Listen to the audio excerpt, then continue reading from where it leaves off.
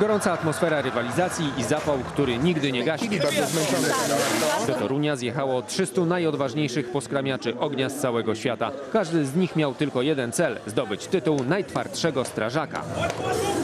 By nie obejść się smakiem wygranej, panowie musieli udowodnić, że robota pali im się w rękach. Zawody mają e, symulować typową akcję, akcję pożarniczą, czyli e, tak jakby pożar mieszkania, czyli wbiegnięcie na jakieś piętro, e, tam gdzie się na przykład pali. Bieg na czas w towarzystwie 90-kilogramowego manekina to tylko jedna z pięciu konkurencji.